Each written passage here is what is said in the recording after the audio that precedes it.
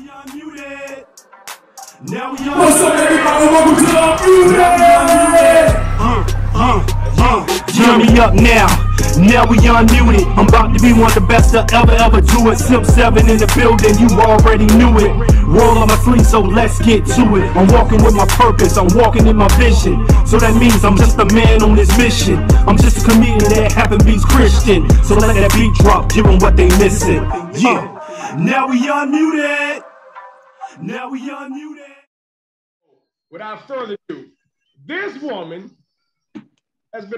Been. What's up, Barry? How you- Hi. Carry on. I made it in. You made it, you here. As- Look, I've been trying to get on. I couldn't figure it out. I couldn't You couldn't figure it out? Okay, I'm here.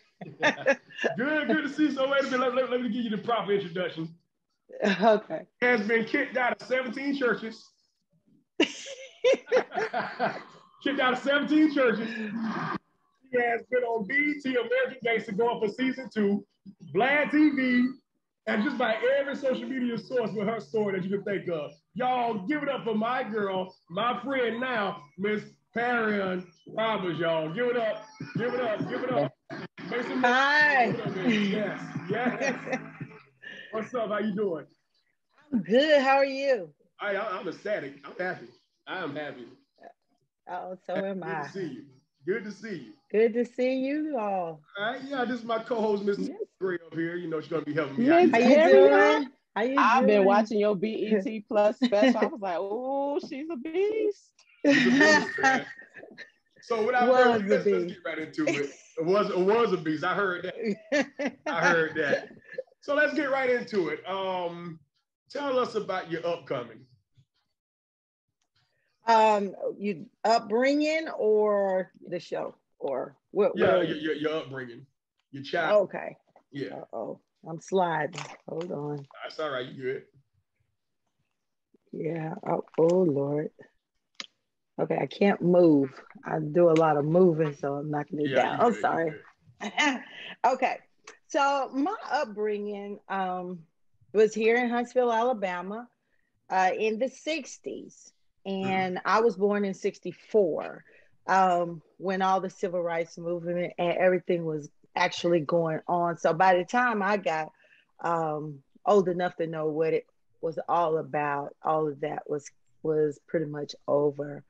Um, so, um, but I had a um, I had a real I did have a good childhood. I thought Mhm. Right. um, despite the um, the abuse that was that my mother endured. Um, they never beat us, so I didn't never think that we were ever abused. Um, So but never got a actually, every now and then, not much. No, not really. We got fussed at, but not. We didn't get whippings and beatings and stuff like that. You know, my mother Right. threatened us a lot. My mother, if any whipping went on, it would be my mom. But and that she did a lot of uh, yelling and promising that she was gonna That whip us, threat but- works sometimes, though. yeah, and Just it worked. a- threat. It, yeah, a little threat, and, and we were pretty good with the threat, so we uh, didn't push her to the limits.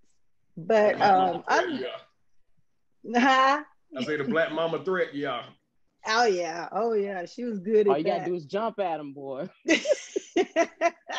and see, she worked for the military too, so she had a lot of that in her too. So, um, but anyways, my mom and father is the ones that had, you know, they're they're fighting and stuff. So, um, I never felt like we were abused because um, because we never was beaten or anything like that, and but uh, I realize now that we really was living in an abusive home, and a lot of that um, kind of like rubbed off on on me and my brothers as well.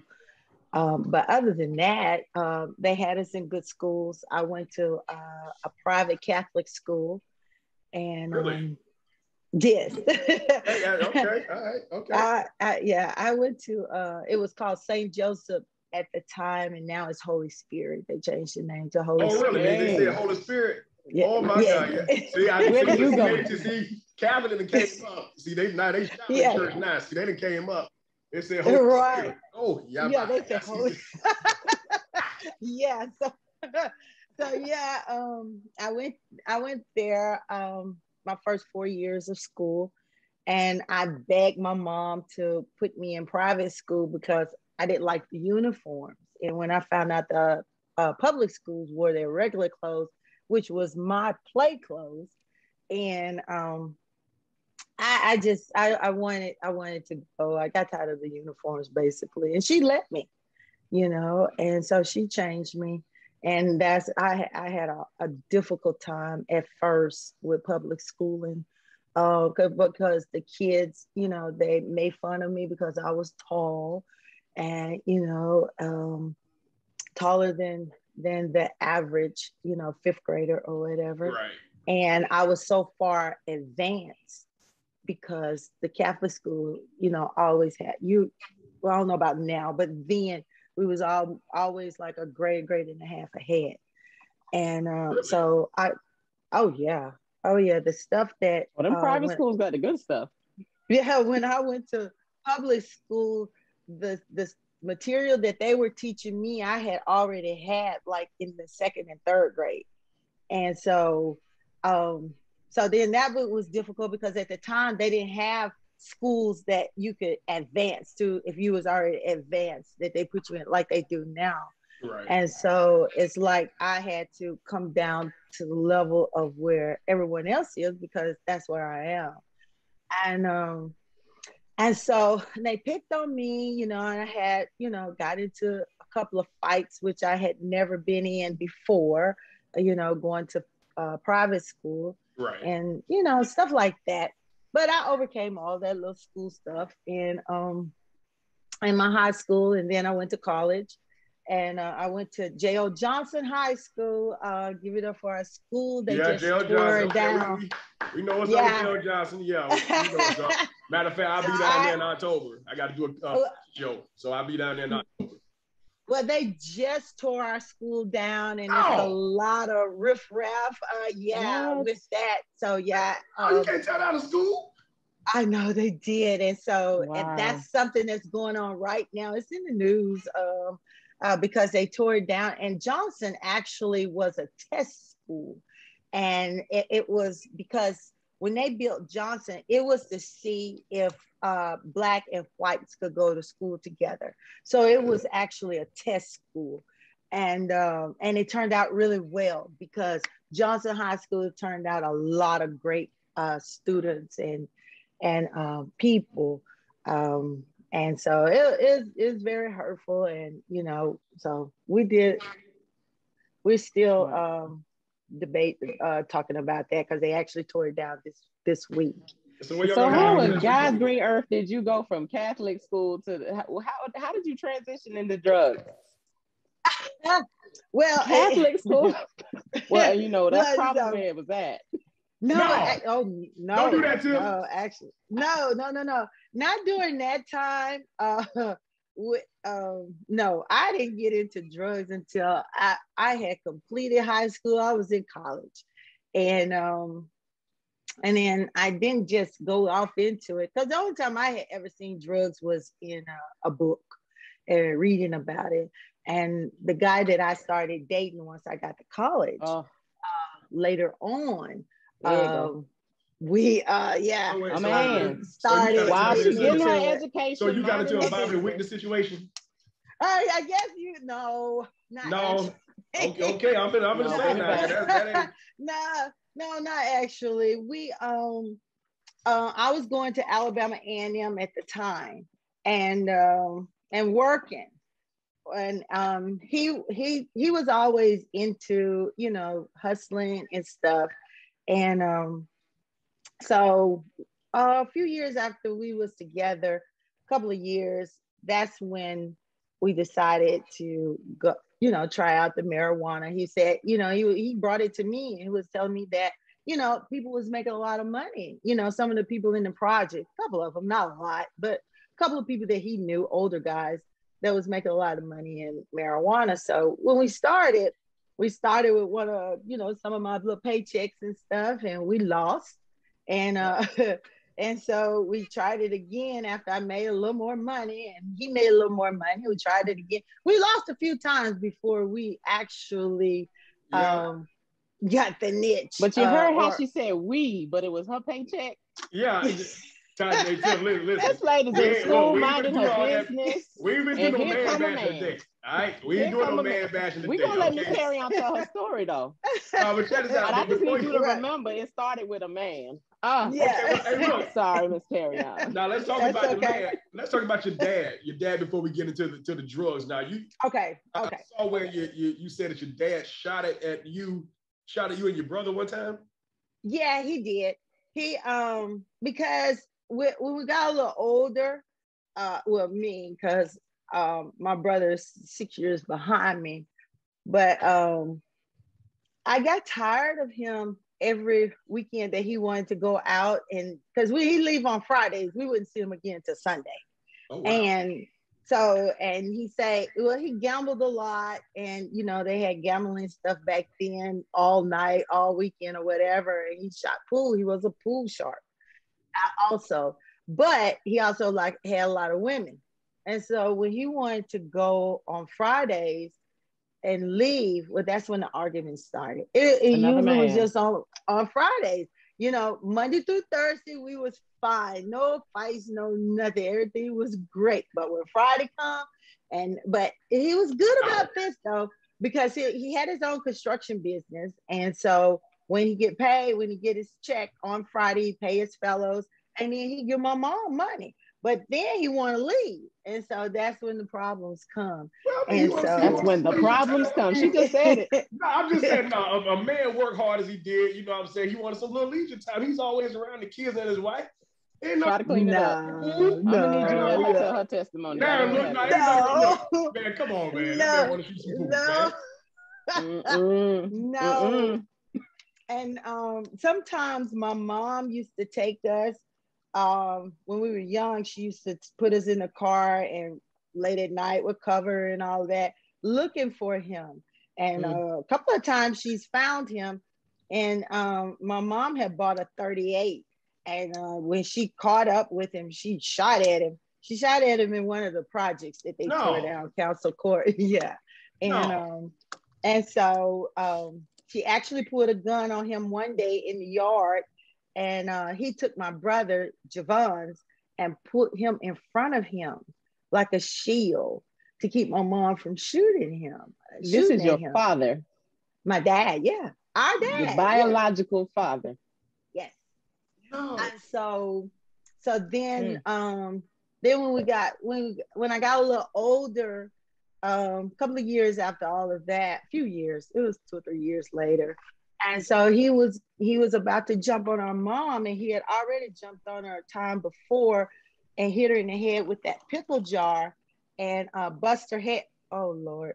No, okay. you good. And bust, and bust her head. Um, and she thought she was sweating. And in fact, it, it had gashed it had gashed her head and she had to have stitches and uh, it was blood and um, on our living room furniture. And so after that, when he uh, tried to jump on her, that's when I jumped on him. And then Javon come along and he tried. He was young. He grabbed him by the leg or whatever. And and so by us doing that, he when he slung me off, he always kept a little gun, a little uh, 22 in his pocket. And so when he reached for it, because we knew our dad, we knew he was shoot, you know, we done some things. And so we took off the running and we ran outside. And at the time it was, we had huge pine trees in our house, in our yard. We hid up under it and my dad literally came out the house shooting at us. But he didn't know where we were because it was dark, but we were under the tree. And um, oh, when he when he left, we ran down the street uh, to a neighbor's house, and um, my friend's mother uh, uh, uh, had called the police and walked us back to the house. And um, but my mom, he didn't he didn't get a chance to jump on her at that time. And then after that, um, he, he didn't hit her anymore because I guess he thought, hey, they're growing up, and you know, I don't know what he thought, but And your mother he stayed. didn't. Yes. Yes. So in other words, your, your father was a true definition. I brought you in this world, and I'll take you out. Truly. Wow. Man, that's Truly. I, He wow. he shot my youngest brother uh, Wait, later wait. on. He So did shot my beatings not work? You Huh, no, no, no. first? this this was a n- this is my youngest brother. He shot him when he was like 16 in the leg. Um, bro, And so- this- um, We just skipped over the belt whippings. Like I there's mean, so I, many you other know, I, ways. thre- I threatened my kids before. You know, hey, look, I choke you. I mean, I, you know, I, you know, I, I you chop your shoe to your Just behind like a belt. but they actually go and do it, man. God dog. yeah, he did. Wow. He did. He literally shot him, but he shot at me and Javon, and he never shot at Duran. But our youngest brother, Jeremy, that's who he, he shot him in the leg. Uh, he's because Jeremy had went to work with him, and um, I don't know what happened, but Jeremy have a bad temper too. But anyways, um, he said that Jeremy was trying to take his money. He want to take his money, and so he he uh, and hit him with a stick or something. But anyway, he shot him. He shot him in the front yard, and he didn't get any time. They gave him um, um, anger management class. Anger management. What year was this? Yeah. This was Shooting at people is anger 90. management. It was in the 90s. It was in the because- nineties. Yeah. So while Michael Yeah. Jordan, Chicago Bulls win the championship, your dad out there shooting his kids. Wow. I ain't got time for this today. I ain't got time for this today. No, Wow. no, man. No, if anybody's watching and listening, don't don't don't shoot kids. I understand. No, no. Don't do that now. God, dog. No, actually, no, no, no, no, no. Um, but no, he he did. When he went to court, they gave him anger management, and uh, once he completed that, they uh, took that off his record. So, So how was your relationship with your dad after that? Growing up as a young adult, like did it change throughout the years? Oh yeah, me and my dad was was really close. Um, you know, um, even before he passed, he passed away uh, in 2020.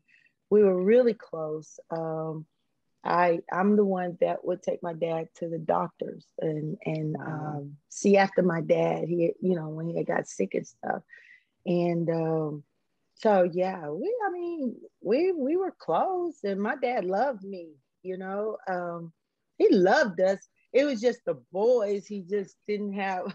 he wasn't that close to, but he was really really close to me. Um, So still your daddy's girl. That's a huh? You, you was a dad's girl. But, Yes. wow. Yes, I was. Even though you were what the only girl out of out of the four? I'm the only girl and the oldest. And so, Yeah, girl. All right, so you went to college, you met this guy, he introduced you to marijuana, and after that, you you, you had some failures of selling. You know, you never sell me none, but I just want people to know that I ain't never smoked with her.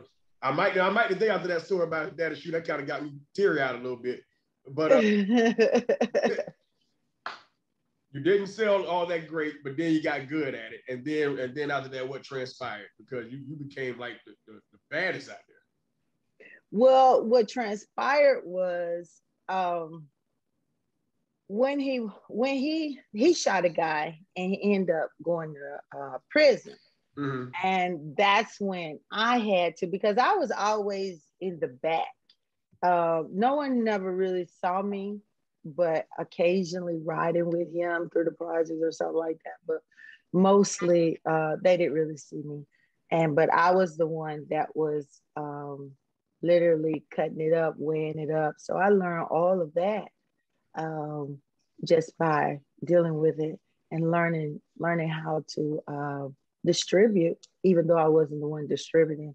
And uh, when he went to prison, then I had to go out in the projects and different places and collect money from the guys that he had fronted it to.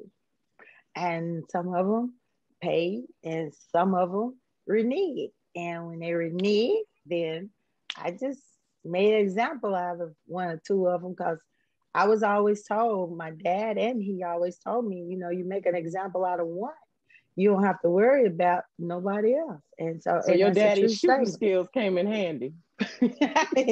When you say when you say an example, what kind of example did you do? I just I need I oh I shot I shot a guy in the leg because he wouldn't pay me. He just he told me he wasn't giving me a damn thing. And I said, Oh yes, you are. And he said, No, he wasn't. And so I just pulled the gun. My dad always told me once I pull it, shoot it. So I wasn't gonna pull it and didn't shoot it. And so Uh, I shot him in the leg. And at that time, you could shoot someone below the belt, and that's like was a misdemeanor. It, it- you do like 30 days if you did go to jail. you can't do that Now it's attempted murder. Greater, greater judge over here in Polk County. Greater judge No. against you. You're arrested. No, it, it, it is. It, it, it's it's a felony now, and it's also attempted murder. So I wouldn't advise no one to do that. Um, Wow. This day and time, but uh, at the time, that's what that's the law. That's what it was. So, you know, as long as you didn't shoot anyone above the belt, you was Uh, and um but anyways he he paid me and then everyone else fell in in in place and you know um and i did it for a while. I i i, I sold the marijuana for a while but it just wasn't the money that i was really looking for. And um so i said well you know what? I'm gonna go back to school and get my engineering degree and i can make the money that i want. Right. and so I I went back to school. I let it go, and um, I ran into um, Po Boy on the street, and I was just driving, and he flagged me down, and he, he told me he had. Well, let me go back. Po Boy is Champ's cousin. Oh, okay. And- All right. Oh, Po okay. Boy was young, uh, younger than either one of us. He was his his youngest brother's age, one of his younger brother's age, and so they all all those little boys used to come to the house. All And, the um, boys. Yeah, and and they Another ultimately boy.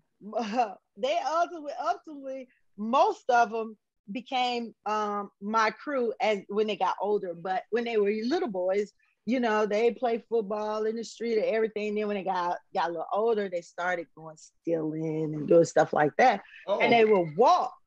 And so i decided to take them. So they wouldn't have to walk and get caught or anything. And so i would take them but they would have to split everything that they got with me.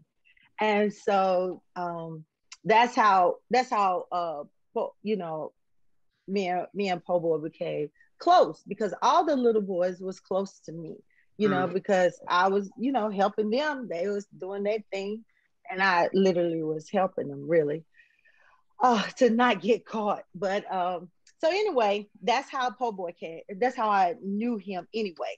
And so when he got older which he was about uh he was 17 he was 17 at that Mm. time. And um he said that he had it going on in in Butler Terrace selling uh cocaine. And I told him he didn't because I didn't think he had even seen no cocaine but he had and so he said I do I have it going on I got some guys working for me too and I was like okay right and but anyways one day I said, okay, I will, but I didn't go then. I uh one day uh, my money was getting really low. And so I said, okay, let me go out here and see what what what Po Boy talking about. So I went out Wait to a the minute, Miss project. Parrion. I watched your special now. The money. So where in this story were you modeling? Because I saw in your all the time, all the time, all the time. JC Oh, so the Penney. whole see, the money All wasn't time. good from that. No, no, nothing Oh. was as See, good. I'm trying to save And- up from the boys in the story. I'm, I'm Look, trying to hook you back into Well, JC see, Penney I model. Yeah, I started modeling when I was nine, and I did all of those. See, I don't know. It, it's like weird, but I, I I modeled during my drug selling. Um, that was my Oh, y'all got to see it now. Y'all got to see. that. Woo. That that you was know that JC comfort Penney zone. magazine. We tried to be like those Yeah. models.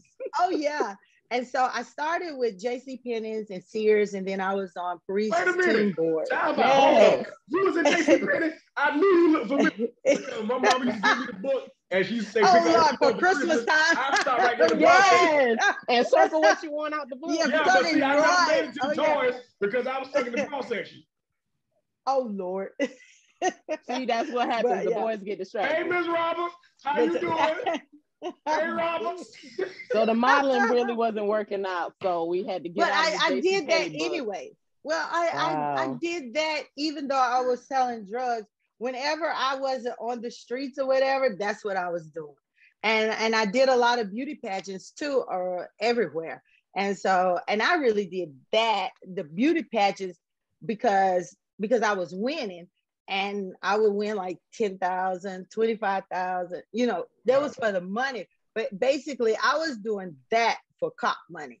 You know what I'm saying? So I, but I was winning. And then it's comfort to me is to model and stuff like that. That's my comfort zone. And so even though I was selling drugs, I was still uh, modeling whenever I wasn't on the streets. Once the guys and stuff started selling for me and stuff, that's what I would be doing in my pastime if I wasn't at school, because I also went to school this entire time too now. So I, I still, even though I, I went to A&M uh, three different times, um, uh, and I, I uh, went to Calhoun for nails, uh, cosmetology and nails. So I graduated doing that. So I started doing nails too. I did nails for 18 years. So, um, and then I um, I went back to school and I got my certification as a nurse assistant. So I did that for five years, and and so uh, uh, We got an engineer. We got a cosmetologist. we got a beauty model. And now we done we I- done bumped into I- po' boy. So yeah, so you said I got a lot oh of well, jobs. yeah, and I did taxes for seven Yeah. years too. so, Taxes. um, See? Taxes. uh, so I ain't yeah. fired mine yet, so I might have to holler at you when the show is over. So. But uh, yeah. So I and I and I actually. I've I've been to school. I was going to school the entire time that I was doing that. I was in somebody's school, uh, doing something, learning something, and I modeled. All that I still did. It, it, it never stopped. And um, and so you know, if it did stop, it was just a little temporary for maybe a, a maybe a month or two, maybe a year, but nothing major. And um, so then when I got with Po Boy and he showed me um, the pot at that time it was powder cocaine, and um, and he showed me how to take notebook paper and turn them into bindles, and and that's what you used to put the cocaine in, and then we used to keep them in in rice in medicine bottles, and so he showed me all of that, and I was like, oh wow, okay, so and then you did, it wasn't a whole lot of drugs. Like marijuana is bulky and it's a lot. You know you could not have a lot and it's still bulky. Right. and but with that it's not and it's easier to get rid of. And so i was like okay okay okay i, I can do this. And so when it starts selling i said i like this. Okay. And so i started hanging more in the projects and um, learning more and getting more familiar with with the people in Butler Terrace at that time, and um, and so that's that's how that started. And so it was went on for a couple of years, and then he got killed like two years after all of that. Po Boy got Um, killed. Yeah, he got killed. Uh. Hey, he it this was a girl dispute. It wasn't even no, Oh, it wasn't Lord. even a drug thing. Um, Oh, Jesus. yeah, The, yeah. Well, What- Tim, Tim, what you got to say, Tim? What, what you got to say? the first time something is happening based off of a woman. But guess what? It was still two men that was beefing. So let's just leave it there. Okay, That's I'm right. saying. It was still men. we don't Yeah. do no man bashing today. We're gonna do that. Well, see, see, Po Boy was was known for he was young, but he he he was and he was very. Everybody was skinny back then. Wasn't Right. nobody big or nothing, but he could literally hit a man and knock him out, and they was just scared of it. And um, so and so the guy that shot him, he was an older guy or anything like that. He shot him because he was afraid of him, but he really didn't shoot to kill him because what happened was he had two different bullets in him. He had the bullet that came from that guy's gun hit him like right in here. But the bullet that hit him in the back of the head was a 357 Magnum. And the only ones that carried that gun was the police at that time and me. At, at And you, time. okay, so you, so so Tom, let Yeah. me make sure now, now, now you this is the day that you had something to do with old boy getting shot up. Now you, oh no, I would. Oh, absolutely not. I wasn't there, but um, that's that's the gun I had. That that's the gun that I used to carry all the time. Was a 357 Magnum with hollow Magnum. point, God, gold, gold, gold tip, hollow, hollow point. hollow Um, point, yeah, because he spread out in the body when he get in there. Hey, Right. You know your Right. stuff, huh? That- that was- You got Ooh, the Lord. After that, that you was my hold gun. And yeah, and and, and uh, Po Boy had a sawed off shotgun, uh, a pump shotgun, which I had bought for him. Um, that's what he used to carry. But most of the time, he didn't really carry a gun. He just like he liked to fight, fight, literally with his Yeah. fist. And um, this boy, he went. He didn't even have a gun. He went went to the hotel and everything. And this boy just started shooting. He didn't even he didn't he didn't give him a chance. You know what I'm saying? So uh, he didn't have a gun. So you literally killed him, and he was he was not armed because he didn't really carry a gun um, like that, and he hadn't shot nobody. You know what I'm saying? He would he would right. beat him up, but he didn't shoot nobody, and um, so he didn't deserve that. I you know, but that's what happened. So after, after And, he um, died, then after he died, you took over. then his guys, yeah, his boys. Because see, um, when I was out there with them, it was just me. So I'm just hustling the street just like them, you know what I'm saying? But I'm doing my own thing. And um, so when he died, then his guys, they didn't know how to lead, you know, they were basically followers because you know they followed him, did what he told them to do. So then that's when I stepped in and you know I took care of them. I picked them up and does it uh, like started. Because you were behind the scenes, you knew the whole operation. Why does it sound like Right. the pastor died, the woman take over, and all the men just fall under, and no man there to take up. Man, no, what? No, I thought like you said no man bashing today. Uh, no, that's not Right. pastor. That's just how it is. The pastor died, his wife take over, stuff like that, and everybody. Just, I mean, we have an educated woman that's clearly capable of so many different hats. You even had So a cleaning service, hats. correct? sell Right, that was later on, nails, Cut That- your corns off your later. toes, brush your teeth. She know how to do it all. Yeah. That's why you need a woman like that. That's a Proverbs 31 woman right there. She know how That's to do it right. all. Say it again. Right. Exactly. She know how to do it Yeah. all. Yeah, yeah, Yes, yeah. I'm that's Gotta come in and do pick it. Star, up these men that's down on their luck, crying about their drug boss. We gonna dust y'all off too. Come on. And I'm an Eastern Star. Who will lead the too, people? Who will lead the Eastern people? Star? I'm an Eastern Star, yes. Okay. And so, so, uh, but yeah, um, and then also my thing was, um, I taught them because they were younger. They were younger guys too, and so I I taught them, and most of them had dropped out of school. So what I learned, I taught them. You know, I was teaching them. Like I told used to tell them, I'm teaching you how to survive. Whether it, it not to sell drugs the rest of your life, but just to know how to to to survive. Right. And you, it doesn't matter what you sell. You can sell toothpaste as long as you know how to sell toothpaste. You know, you can sell that. You can make a million dollars selling toothpaste if you just Right. know if you know the it- formula. it is a lot of it. bad breath mamma jammers over here in Polk County.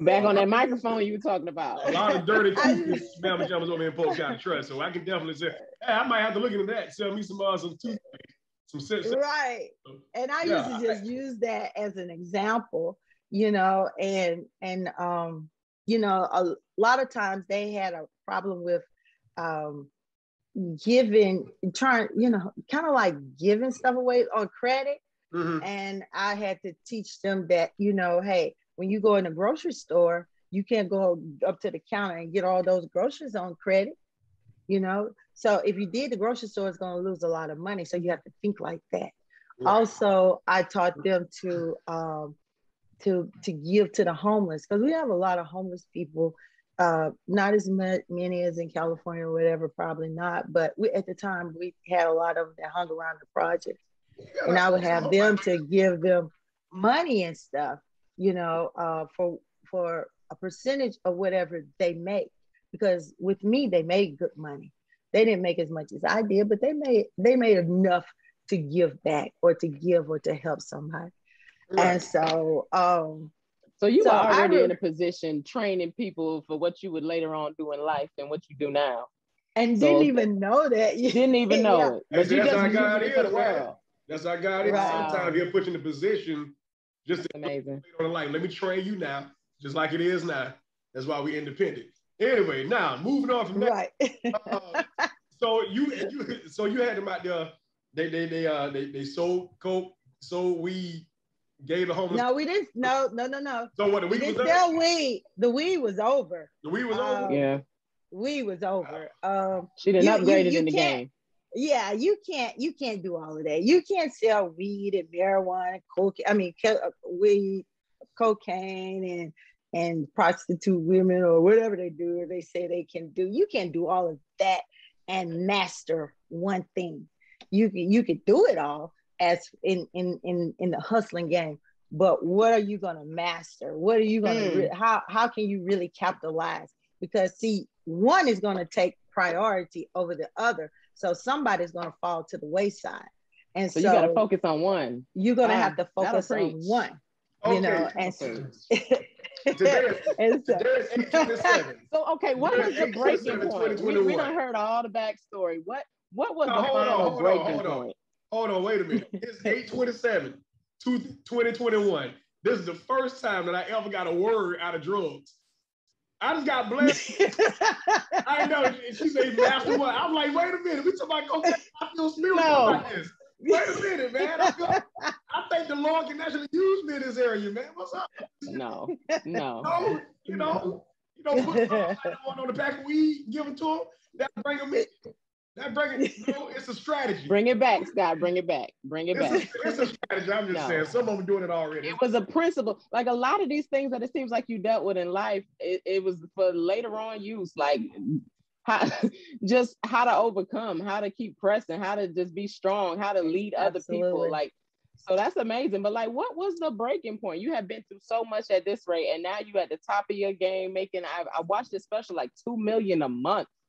Yeah. Two I, I, made, I, made a, I made a lot of money. I made oh. a lot of money. You know what I, when you, got that, when you first got that million in your hand, how did it feel? What like did, did your eyes get big or like what did you no just, just lay no, back with because it? yeah, I'm I'm laid back with everything like that because um you know I don't um my mom my mom um we, we um, my mom kept us in church so I, I learned um not to uh, what? cherish money or to you know I, I don't know. It just it, it just was the fact that i made a lot of money. Okay cool okay now i can do the things that i want to do. You know i can help the people that i want to help.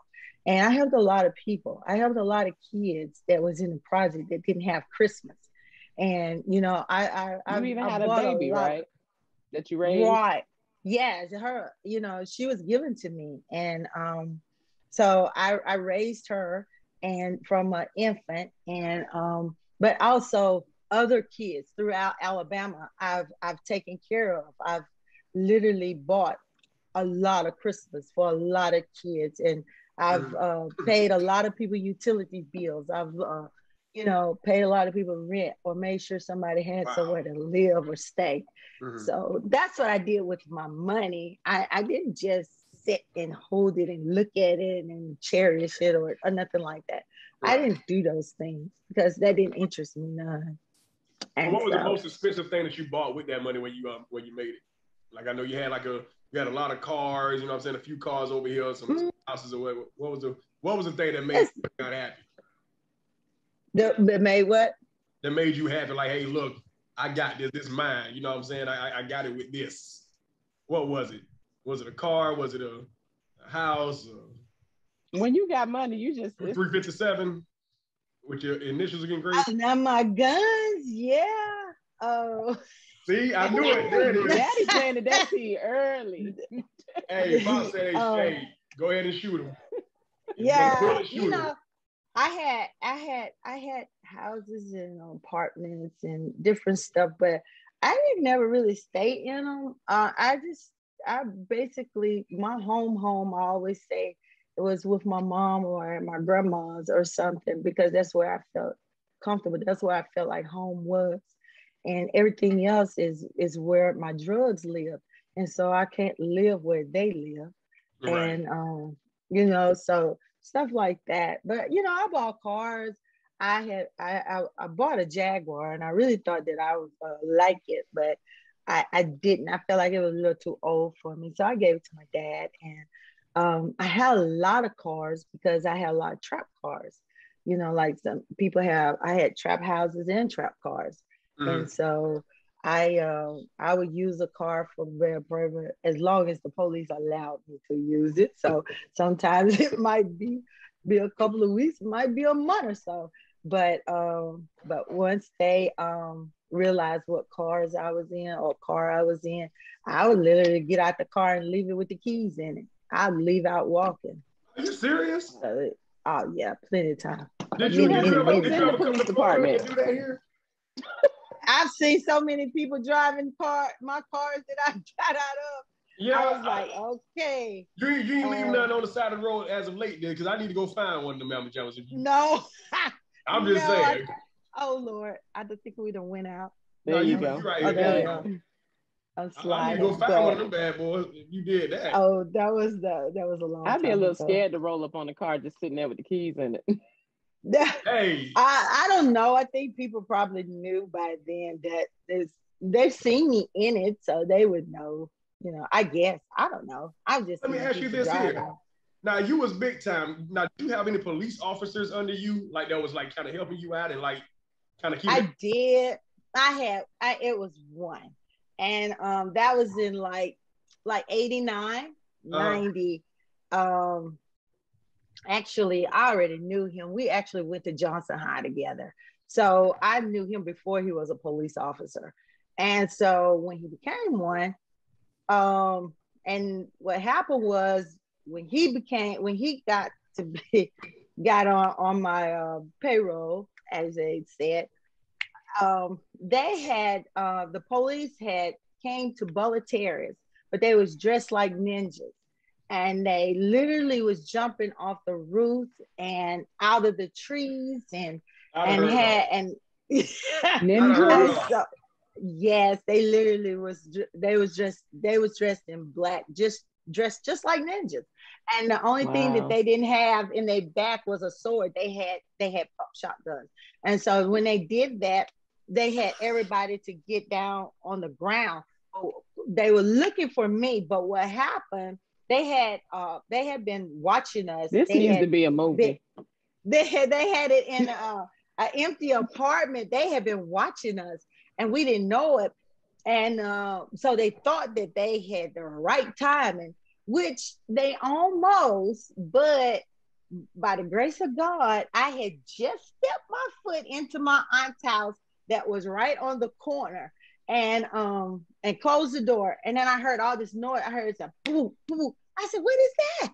And so I looked at the window. I said, "Oh my God!" I ran up in my cousin's room upstairs because her room overlooked the uh, front street. Mhm. And so, and so they were coming out the trees. I said, "Oh my God! Would you look here? What the hell is going on?" Ninjas And in the so- trees. Yes, and they was in the trees, but they jumping off the rooftop too. And when they landed, they come out their back with the pumps, and it's like, "Get out! Get out! Get out! Get out!" And so they had literally the whole sidewalk was laid out with people. And by the grace of God, not one of them was my guys.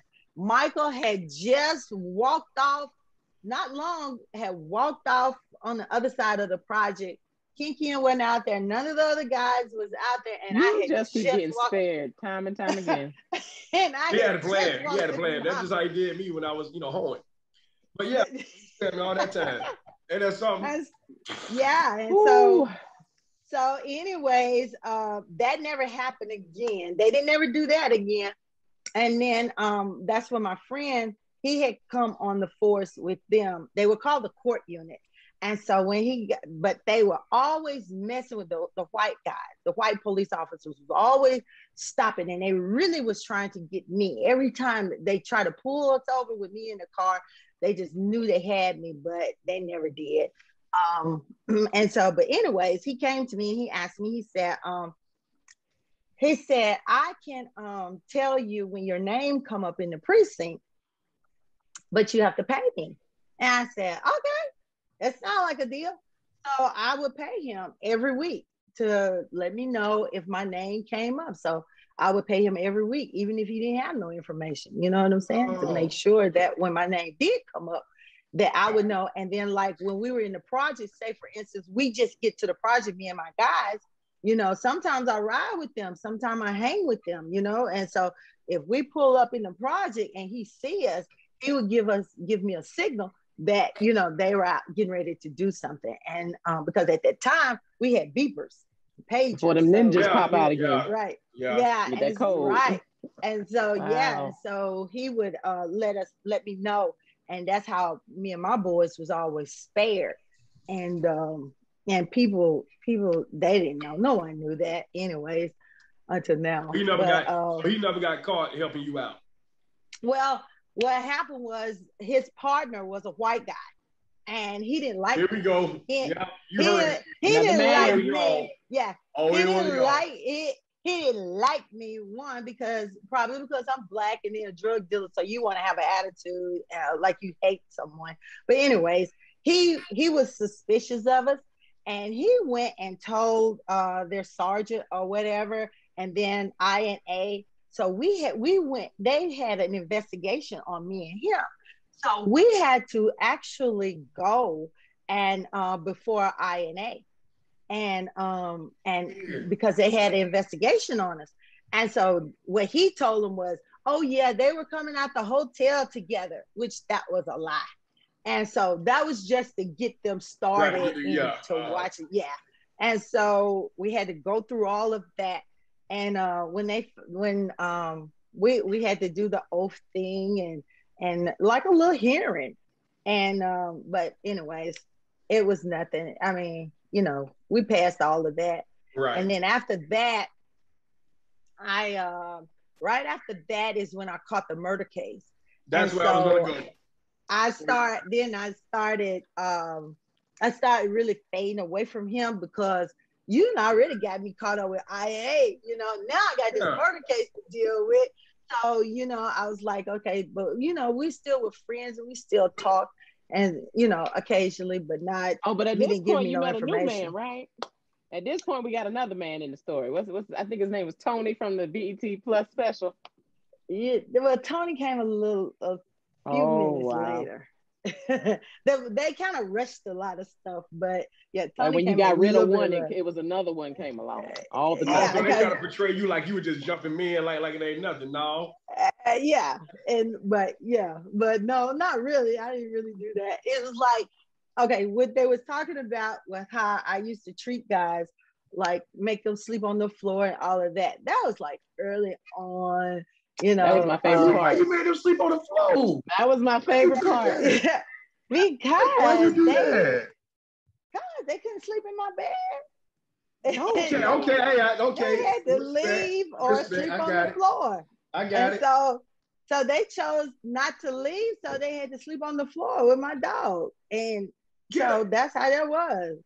And yes. and so, my dog. Yeah. yeah. I had a chow, chow, a black chow chow, and he was special. But anyways, um, yeah, I did, I did that with several, several of them, or you know, I, I, I just didn't because I, I, didn't have time, and I didn't want anybody to think that they were going to get up under me close enough where you know what I'm doing, and right. whether you were with me or not. I always thought that everybody was against me, so I, I didn't leave no room for you to uh, set me up or know what I'm doing or know my whereabouts or or nothing like that. And I didn't like them like that. You know, I just need you to do what you do and get the go on about your business. Yeah, I know, but And, it's still on the floor. I, I wish man, I wish man was would have tried like that to my Scott. You sleeping on the floor tonight. You about your rabbit mind. You, you give me some calf foul. I go take my little black sit back home. I can see you on the floor, cuddled up, fetal position with a blanket. yes, on the yes, I got yes. you now. What I can see it. And look, And I can see the And then- puppies getting around them. I was watching that special, like, boy, That's that's what I'm talking man. about. I'm a oh, boss Oh, you- around here. I need y'all to g- g- goodbye. yeah. So what was it that made you say, listen, I want to change. I- I'm tired of doing this. I mean, the- Well, after okay, let me speed through that. Okay, so then I got charged with the uh, murder case, and and then of course I was acquitted on that because I wasn't even there. But anyways, I got acquitted from that, and then um, met Tony, and then that um, all of that really changed. I was because um, I had really got tired, and uh, during that time, I lost my mom and my grandmother two months apart. And um, then when I lost them, then I didn't, I didn't care anymore. I just became, oh God. Oh, can you see me? You're back. see you. Okay. I I I, I didn't um I I didn't care anymore. I actually um just started doing stuff recklessly. Uh, everything that I taught my guys not to do is what I did. You know, I tell them don't don't ever do business in a, a parking lot, a Mhm. grocery store parking lot, or in a grocery store or anything because you can't see everybody. You can't see everybody in a car because people can be lying down low and watching you or whatever. So you just don't never do business there. And I did. And that's how I ultimately got caught because I, I really didn't care. Plus, I had prayed. Um, one long, uh, a couple of weeks before that, I had prayed and talked to the Lord and told him that, uh, you know, I was tired, you know, I, and I wanted a way out and I couldn't figure out how to get out because because when you when you when you work for someone else, then then you know that there there be a problem with getting out. But when you're the executioner, then how do you get out? How do you how do you stop being you? You know how how? And so I just didn't I didn't know how, and um and I just prayed and I asked God for a way out.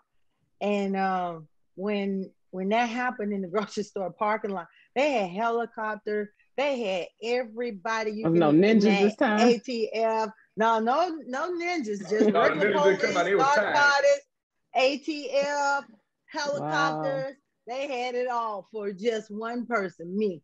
And um, so when when uh Izzo got me out the car, asked me to step out the car, I did. You know, I didn't run or anything. And um, I just looked up in the sky and I just said to, to the Lord, I said, This is not what I meant. And uh, Oh, you wow. know, so Yeah. you Yeah. know, I wanted a way out, but this is Sometimes it seem like you be not- tripping, man. Like, dude, You got to I be had to do it specific like with your prayers. I No. exactly, and I said that. I said my mama always told me to be specific when I ask you something, and I Yeah. was not. I just said Yeah. I wanted a way out. I said you give it to me, but this is not what I wanted. you know, and um, he knows his kids, and he knows that one thing I hate is being locked up. I don't like to be caged up like no animal, and um, but you know, uh, I went through that, and um, when I went to court, um, it was a, it was a lot of confusion. My mom used to always tell me play, pray for confusion in the courtroom whenever I go. Make sure I pray pray for confusion Pray and just confusion? pray and fast. Pray for confusion You because got to put that reasonable if- doubt if- in there. that's right. So is that what happened That's to OJ? Because I just listen. I just OJ trial again. No, let me Yo. tell, no, let me say this. Now, you know, as a kid, it was around like 1995, so I'm probably like maybe 11 years old at that time. 36 now, about to be 30, 37 next month. Virgos, I see y'all. Listen, so um, that whole time I thought Johnnie Cochran when he tried to glove, he was like, if it doesn't fit, he must have quit. But I That's right. until I watched the other day that he said I'll quit.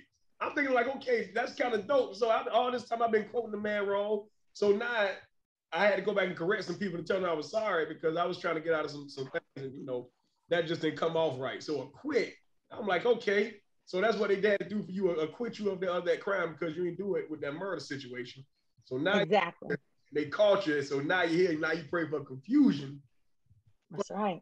Reasonable doubt. One more, Sapp said, "My praise will confuse the it out." I ain't got time. I ain't got so time. so so I did, and I fasted and prayed before I went to court. But still, the DA, um, the the Izzo, um, had I had I had ran into Izzo, me and my daughter and his family at a Now, furniture Izzo's the store. cop, right? Yes, that arrested me.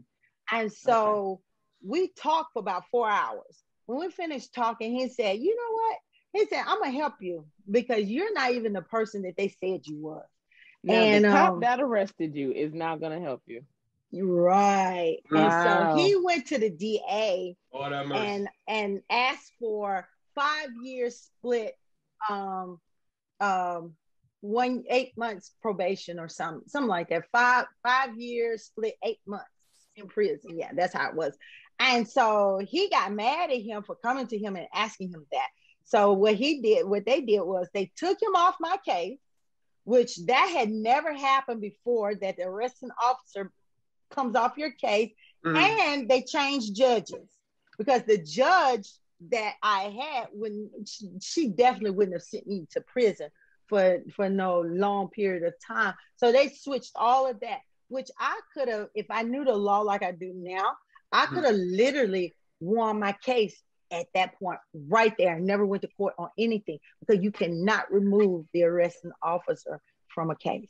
wow. That is against the law. Wow. wow. And so, anyways, they did all of that foolishness. And so he all he said he was gonna offer me 99 years. Well, he and my lawyer got into an argument. And and so there's all this confusion, you know. So they got into a real bad beef. And so he said, Well, I tell you what, if she take it to trial and lose, I'm definitely gonna give her 99 years.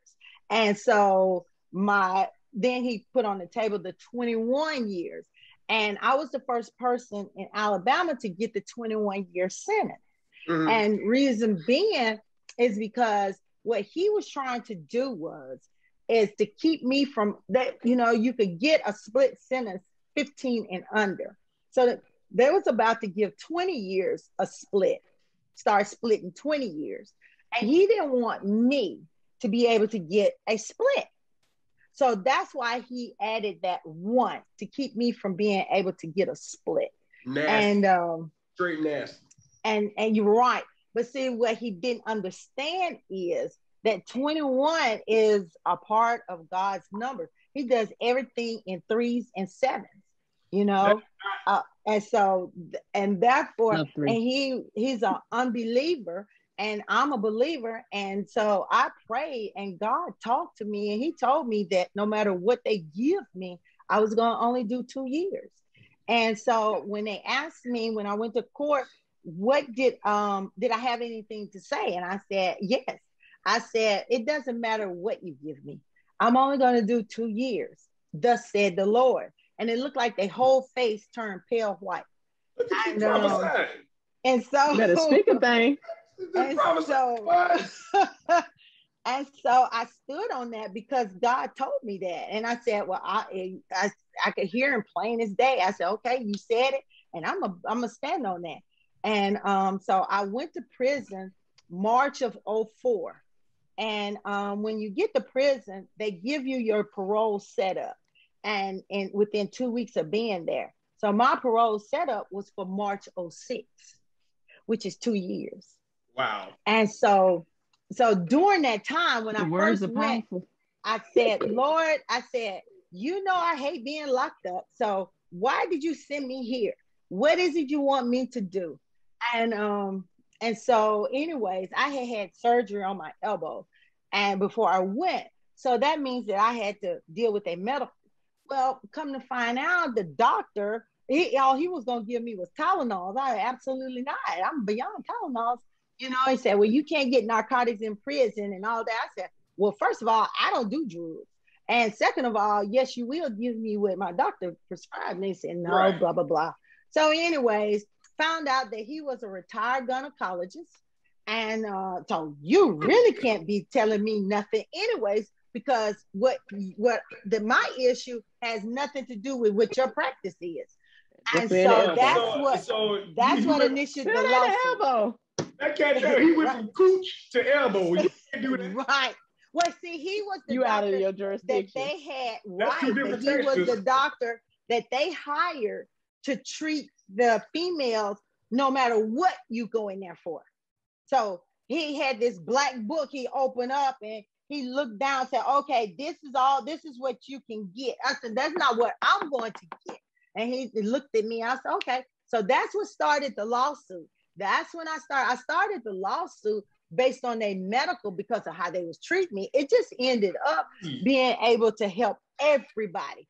And so now um, they had to literally uh, because I won. And so they had to start taking me to out to an internal medicine doctor.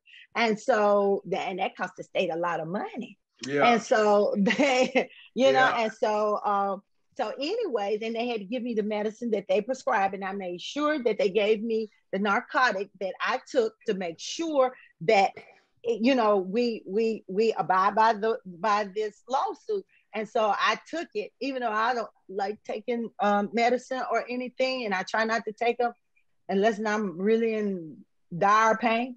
But I True. took it to make it official. And so, um, so now men and women in the prison can go out to internal medicine doctors uh, if if they have to. But see, You they're not going to tell the them street. that. So there's no way they're gonna cage you up and you're not gonna make a fuss and then raise some flags around here and get some stuff moving and shaking for these people because you were And already doing that before you got there. That's wow. Yeah. Then they killed a woman in front of me. And so I What? put that in the lawsuit. I contacted, yeah, I had the feds and everybody up in the prison. I I called everybody in. They had feds and, and everybody. Actually, the ninjas kind of showed up at the prison because they came in in all all black with the no. dogs and everything. It was just it was The crazy. ninjas I are back. They, they, they, they they just show up at the me. grocery store for Where the actual go? blood. They this is show up deja the vu. right. I said, "Oh my God, would you look?" And I was telling the lady next to me what had happened on the streets, and I said, "Would you look? They're here and there. It's like they follow me or something." I said, "But uh, anyways, we got that taken care of. A lot those officers got um, fired and stuff. Got a lot of changes done while I was there. Not a whole lot because you know I was only there for two years, so stuff you know it take process." you know, Right. filing lawsuit, it take process because they have so many times to answer or when to answer. So, you know, time was running. So when I won the medical part of it, I made them also, I made them paint the prison because the it looked like it had lead in the paint. And so they had to get someone to come out and test it. And it did have lead in the paint. So they had to paint the entire prison, which cost money then um, at the time I was not a certified uh, um, Native American, and but now I am. Um, but we had one that was there. Well, How you then I started suing them because because my great grandmother Okay. was was an Indian, and so I didn't have my card. I didn't have my roll number at the time, but I have it now. Gotta- Well, And that so- comes with a that comes with some benefits, Sir Scott. Wait a minute, I got no way. I got an uncle. I got an uncle that's No, mm-mm. no, no, no. I got an uncle that's he Indian. At least they, you know, he say got Indian in, in his blood. Yeah, but I'm. I'm we have a tribe and everything that I go to. Um, we have a chief and everything. Uh, so that that I know that we do. I I don't know about your uncle, but No, my Uh. chief passed past 2050. Wow, wow, wow. Okay, right, so all right. Okay. so so I made them. So after I won all of that, then I started um, sitting on my bunk and I was thinking, okay, now what else can I sue them about? Oh, religion. Okay. So I started suing them about religion because one, um, they didn't have no Qurans in uh, it. See, they had two parts to the prison. The main prison is it was maximum security, and then they had the minimum security, which was another part. But in neither one, they didn't have Qurans and they didn't have, uh, you know, the hat and the rug that they, the prayer rug and stuff. Mm. And um, and also the one Indian, they didn't have her a worship ground uh, built out on the yard. And so I uh, Oh, you- I filed a lawsuit against the the the uh, religion. And See, so I, up. and I won that. And See, we so gotta, now we got to tighten up. See, us Pentecostals, we make churches out of everything and kneel and pray everywhere. So we wouldn't want no lawsuit. They were like, no, your, your altar right there at your bedside. See, at least your, at least, I know Y'all- I've been a y'all got Pentecostal actual too. stuff My, to go with my, my mother, my mother was, was Pentecostal and then holiness, and my grandmother um, brought me up in uh, Catholic and Baptist, and I, I've been to all denominations. Actually, I've I've studied all religions, so uh, nearly all of them. I've been Hebrew. I've uh, been um, I've studied Hebrew. Um, I've, I've studied a lot of religions, but anyways. So anyway, I made them build. They had to build her the worship ground, and so they didn't like that because you know that costs money to bring in somebody dig and, and do all of that and build that for her to be able to to worship, and and then they had to get you know the Qurans and everything, and then I made them take the salt out of the food because they're all complaining about people with high blood pressure in the We prison gotta and get all of up that, out of here. and so we gotta get. and so we got to go. We gotta paint. and That's so crazy. so I made them so that's for the men and the women. So everything that I done had to be for both men and women, you know, when I wanted and and and I wanted through the federal courts. And so um then my, you know, then then my little time was running down, you know, my two years is coming to an end. And um, but um after I had won all of that and stuff, you know, you know, you get kind of you know in your spirit you you you sometimes feel like you know eh, are you gonna go you know because you know i started getting um i guess anxious i don't know or slightly depressed and well so one night i prayed i stayed up all night praying and i was looking out the window and um i prayed and i asked god i said i told him i said you say that you you know you hear my prayers and uh, that you see my tears, but I'm crying. You say that you would heal me, but yet my body is still in pain. I said, and you said that you would deliver me, and yet I'm in prison. And uh, so um, that was, you know, my prayer all night long. And I just, and I was looking to the hills because where my bed was, the moon was shining right over the hills, and I could just see the hills. And he said, "Look to the hills in which cometh your help." Come and with your help. And so, Bye, bye, bye, bye, so bye. Hey. I was praying for him to come because I had got weak and tired, you know, of being in prison. And so, anyways, um, that morning I said, well, when they turn the lights on, I'm going to read something in Psalms because I love Psalms. And um, and so I went to open my Bible, and it didn't open to Psalms. It opens to Second Kings 20 and 5, I think it is. And it says, I hear your prayers. I Mm. see your tears. I will heal thee and I will deliver thee, is what it says. And I said, Whoa, I said, Whoa, you work fast. I said, I know I'm going home. I know it. I know it. I know it because you just confirmed it. So I'm good now. And so I went on by my way. Um, then they tried to stop me from filing the lawsuit. So they started holding my mail to the to the judge, and I felt it. And the, well, the Lord had laid it on my spirit that they was holding my mail from the from the judge, and in fact they were. I sent the same material back out through another inmate's name and told the judge what they were doing, and they were in fact holding my holding the mail, and she sent down an order on them, and um and so that's when the warden called me in his office and asked me uh, was I trying to get him fired? And I told him, no, I'm not trying to get you fired. I'm just trying to get you to do your job. And so I said, um, when we come in back gate, you give us a pamphlet. And that's the rules and the regulations of the prison. He said, yes. I said, so you have rules and regulations to go by, which are called federal guidelines. And as long as I'm in this prison, you're going to go by them everybody is going to go by the law as long as I'm in this prison. If I got to, you do too. And so he just looked at me. But um, he said, When do you get out of here?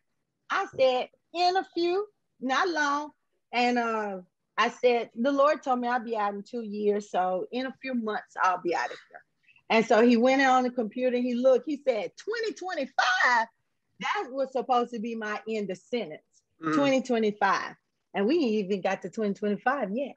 And so, anyways, um, it went on and you know, I just continued writing and doing what I was doing. Um, and then when it came time for me to go to up for parole, uh, which was March 06, um, um, my dad, when he went to the parole board, they asked him, they said, they said, we have never had an inmate to have as many um, uh, high officials to send letters, commissioners, city councilmen, DAs, police officers that want an inmate out. We have never had that before. Said he asked asked my dad, said, Who is Carry On? And my dad said, Just my daughter. And he was thinking in his mind, he said, keeping up all this. Mm-hmm. I said, I said, no, I'm not. He ain't kept up nothing. They should be doing what they're supposed to do. That's right. And so, you know, they were threatening to put me in locked up for filing the lawsuits. And I wrote the federal judge and let her know what they were planning. And um, so, anyways, I told them that, you know, I would I they they would be fired before my ink dried. So I wouldn't even worry about that. And so in fact, you know, I made parole and uh something else that happened that never happened. Well, you usually get out in two weeks. Um, they send send your papers in and you be out in two weeks. Well, that didn't happen. They did not, um, my papers never came. So they don't know what happened to them. The parole board said that they granted me uh, parole. Well, my papers never came. They didn't know where they was. So everybody now trying to see, well, how is this going to play out? Because this never happened before. Right. You know, um, for somebody to make parole and then their papers never show up. Well, then in the midst of that, I get another parole date uh, that uh, in May, no, in June, first of June, I get another parole date, and that parole date is for July. That had never happened before. That somebody make parole and then get another date a few months after they've already went up. Never, never in Alabama history. Wow. And so then when July came and my dad went back, they granted again because they asked him, said, why are you back? We already granted this. And he said they won't let her go. And they said, won't let her go. They didn't understand. And it said that they can't find her paperwork, her release papers or whatever. Say you all never sent them. Say, yes, we did. But anyway, they made a phone call to the front or whatever, got the paperwork, stamped it, and said release her immediately.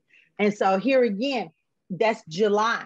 So um, I made parole March, which is the third month, and I made parole again on July, which is the seventh month, which means three times seven is 21. So I completed your time. Oh, wow. Mm. I completed your time. And so mm. I got out and uh, I was on parole uh, for seven years, and after, and then I got a full pardon. Um, after being out seven years, I got a full pardon, and That's then, great. yeah, and then seven years later, here we are in 2021. 20. Wow. All sevens. and you deal with SIP seven. Ain't that something? See, I got hey. hey. I gotta do that. See, man, that's that's crazy, man. See, here's yeah. what trips me out about about about people in church or whatever, you know what I'm saying? Because I'm still in it hardcore. They always say God can deliver you from anything, right? But when I mm-hmm. tell you about anything, you look at me funny, you talk behind my back or whatever like that, and just be like, well, I thought you said God can deliver me from anything. Well, this is my anything. So your anything just really helped a lot of people today. It helped me because now I know for a fact that if I ever go out there and sell drugs, I know how to do it the right way and that and, and get off. So I'm, no, oh, no, no, no, no. You helped me in that area. Thank you. If I ever backslide, prayer. I know what I know what I know a professional. Tiffany, you uh, are. Yes, man. Just go give us. Well, I saw, I saw that you have a book that people can pre-order right now. That's your autobiography, or what else are you working on right now? I'm also working on a workbook, and it's called uh, Criminal Reform, Criminal Thinking Reform. I'm sorry, and the, it's to change uh, criminal thinking to responsible thinking. And so um, we're in the editing process, and it should be completed uh, September 6th. So that's what we're working. That's what that's one of the things that I'm working on. I'm also uh, working with uh, with um, the Alabama um, Initiative uh, program uh, to do a um, bill. I want to um, write a bill that's going to regulate the parole board, uh, give them some rules and regulations because they have none. They have no guidelines, so to say. They, they, you know, and then when a person is denied parole in Alabama, they don't have to tell you why. And so that that needs to change because a person needs to know why because how do you know what to change if you don't know why you Right. know you, because people in prison they say okay well you take this class this class that class and you do this and this for the parole board so when you go up you know your jacket will look good for the parole board and and and then you'll make parole but then when you don't make it and you've done all of this and then they don't tell you why. Then what? Then a person that's in prison their whole soul then then just left their body for real. And and not just them but the family that's sticking by them. Right. you know it is it's the outside and the inside that you have you have crushed. It may be some young kids that's waiting on their dad or their mom to come home you know so that they can have their parent there and then you deny them but they've done everything that they could do possibly right in prison but yet you deny them and set them off five years. Not a month or two not a year but five years. They set everybody off five years. Uh, for instance july the 7th they had they they reviewed 58 cases. Um, out of that 58 cases they gave three people a parole and two people a pardon out of 58 that's That's that's and then they want to know why the prison is uh, overcrowded well it's overcrowded It's a moneymaker. parole board Right. right. and it's and it's overcrowded It's a because moneymaker. of the way the judges is sentencing and and they sentencing all these non-violent offenders with these drug cases all this time here in huntsville in in madison county i've seen where uh just recently uh two guys that was charged with capital murder got got capital murder dropped because you know the the sentence for capital murder is uh life without parole or the death penalty. Well they've gotten that completely dropped down to just murder and then and then they they receive a um 20 split five. And then a guy that come up with a drug case they've given them 30 years to life. Are you serious? yes so you rather for a murderer to get out and To run get back on the streets and do what they to do. get back on the street. But a but a drug dealer is the most dangerous person that you ever met. When in fact you all are the most dangerous people actually that's making right. this that's doing this. You know because Now, if you would mess with one of them dogs that she makes you sleep on the floor with, you're gonna get some time too. oh, Don't do nothing to a little I, puppy. I, I, I'll tell you like this, I ain't sleeping on no floor. I got three of them now. You got three of them, I got two. Got three pits. You got three pits. Typical, yeah, typical. That fit. But listen, man, listen. Your your story is phenomenal. And actually, my, my, my best friend asked, he said, um, have anybody ever thought about making a movie of your story? Yes, we're in the process of doing that now. It's being written as we speak. We've already Troy, there you go, Troy. Hit up. yeah. yeah. So Hit up, Troy. That's And- your chance, brother. Yeah. So yeah, Yeah. I got got some other things um that's coming out in the spring. Okay. And so yeah, so you Do you have a a release date for your autobiography? For sure. I don't. That's what I I was talking to my manager today, trying to find out when we're gonna have that. So they're they're actually working on editing and getting it all together and stuff. But because you have I- pre-orders. story right is now, so big. Yeah. Oh yeah. My Yeah, you story is so carry big. him, It's just like we can't get it all in one book, and we're trying to condense it into one. Yeah. Nice. But it's all good though. Well, we appreciate you telling a portion of your story with us right here on Blessings and Laughter. We really appreciate it. And I'm telling you like this, I gotta meet you. When I get to Alabama in October, I'm gonna hit you up. I gotta meet you. We'll go grab Absolutely. about the story, whatever. But um, and also you get in free. To the Okay. And I'm I'm I'm gonna let them know you Get in free to what? What's going on? I it's, a, it's, a, it's a big fashion show. that, Um, uh, one of my friends do. okay. and I hosted last year, like right before COVID hit, and she Uh-huh. came back again. And um, I that's my first time going to Alabama. And it was like I was mind blown about all the African American history that we would never learn in school. Oh no. Oh, It's so oh, we're I'm- rich I'm with it. rich with it. And I also found, you know, Booker T. Washington is my great uncle. Really? Yeah, so all Wow. my dad, every, my father, my oldest brother, my uncle, his son, his youngest son, all of them are named Booker T. So all that Okay. into Booker T. Washington because last names are still pretty new according to uh, to Right. history. So Taliaferro is our middle name, but it was his last name. Oh wow. So that it all time Oh, wow. like wow. So I had Oh, so that's why he out here trying to get a card. Uh, Hey, look, so, hey. yeah. So Oh, where where's the fashion He's show? trying to trace that thing back somewhere. Yeah, Yeah. yeah. So oh, where's yeah. the fashion show gonna be? It's uh in Selma. Selma. Oh, it's in Selma. Okay. yeah, Been there in a long time, but yeah. Yeah. Okay. I got you though. I you. Fashion show. We need Parrion on I love it. Yeah, I that's love it. look, I'm gonna tell you, I'm model. I love it. Really, Tiffany? Really? Yes. Yeah. I, you didn't see them that. pictures on her on her BET Plus special. Oh yeah. She Oh, yeah. was oh, she Oh, yeah. was doing it. JC So, so let, before Spears, you go, before you go, how, how old are you now? I'm 57. 57, and she like this. Somebody doing something with you. Because you don't look nothing like it. That means that you kept your life clean and God bless you through that whole process. You don't look nothing like you've been through. Never would even thought. 57. Get it. No, yeah. I just turned 57 Just turned 57. That's awesome. in June. Yeah. That is awesome. Uh, uh, one of the guys in my job, Pop Harris, uh, Herman Harris, he said, How you doing? He's a fan of yours. Hi. Yeah, he's awesome. Listen, we gotta go, but we appreciate you. I'm gonna keep in contact with you, and we definitely Definitely. book as soon as your book come out. We got you. We're gonna uh, promote it. And uh, Yes. yes, this show has been brought to you by Capri Suns, Kool Aid Capri Sun. Suck it until it's all gone. Until I don't leave no juice in there. It took you a long time to get that little tiny Capri Sun down. I had three of them. I had three of them. Also, guys, those that are watching, mm-hmm. my friend Cherie Johnson from Family Matters, Max played Laura's best friend. This is her daughter's book. I have bought seven of them and distributed them out, and also read them in school. Her daughter is six years old, and she's a full-time Oh author wow. at the age of six. So y'all make sure y'all go. Some, Awesome.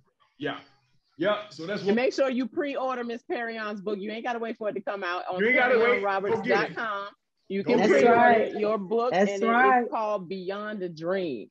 Yes. Oh, wow, it was phenomenal talking to you today. Wow, Yes. Yes. I've enjoyed it. Favor everywhere, it. would you be willing to come down here and do and do a seminar if I get you down here? I would. Yes. Absolutely. Good as done. Good as Absolutely. Good as done. Absolutely. I said it. up. Don't worry about it. Good as done. Got you. Absolutely. Oh, man, might, God is good. might be able to do the book signing down here. I mean, even that workbook, that is Well, well, amazing I- to I'm even just- think about getting able to do the criminals to book something here. how they do life. That's that's phenomenal. Yes. And Yeah. I was going Because when you're a criminal and you're selling, right. your your mind is totally different. So when you have to come out into the real world and you're not making the money you're making, it's hard to get them to transform their thinking That's as to what can I do right. now. So that'll Exactly. be a, even a, a more powerful tool as well. That's awesome. And so we're going to get it in all the prisons and work release and everywhere throughout the country. So Nice. to help people be able to transition their mind. Because once you get your thinking changed and transition, you can be able to cope and survive out in the free world. That's the reason why people keep going back, is because they they don't know how to transition uh, from from from criminal thinking to being more responsible or having a Right. responsible thinking. So Right. Well, we appreciate, no, we, no, that's all good information. We appreciate y'all. This is Miss Parrion Roberts, yo. Y'all give it up for Miss Parrion Roberts, yo. She came by and cheer with us. Give it up for Miss Parrion. That's right. Give it up for Miss Parrion, baby. Yeah, so we appreciate you very much for coming by. Listen, thank you for having me. There, let me know. I will get it out there. Make sure I do it because I always keep my word. I'm not just Okay. here because you're famous and all like that. No, we don't we ain't like that. We, we, hey, we people, people, Okay. you know, people persons. Okay. We love people. People, So we got you. Okay. Yeah. All right. All right. Thank you. Thank you All for right. having me. Thank I you. Thank you. God bless you for real. God bless you all. All right. Later. Bye. Bye. Bye. Tiff, Tiff, appreciate you, girl. Wow, man. Appreciate you. That story. Yeah. The ninjas and stuff, man. The And I believe she also, you still sell cars also? Yes, I do sometimes, but not as much as I was. I don't lost you now. I can't find you. Oh, there you go. Oh, see? Yeah, there you go. I mean, activist, business owner, book writer. Oh, Yeah. Yeah. so Understand. I still do a lot. And I have a nephew that I'm raising. I got him out of foster care. Oh, really? Yeah. While I was on parole, actually. So I could have went back to prison, but um, you know, God favored me and the judge gave me uh, full custody of him. Because in Alabama, if you apply to get a child out of foster care or to adopt and you're on parole, they can send you back to prison. That's a violation. And uh, so I was But you're in there to change the rules and get that activism so that there's some sort of formality as to how the system is supposed to work and not continue to just oppress people because there's no way out. So you keep Right. doing the work you are Right. doing. Oh my goodness. Thank you. Thank And you. you Sleep know on the what? floor next time. Okay. I can't wait to see you all in person though.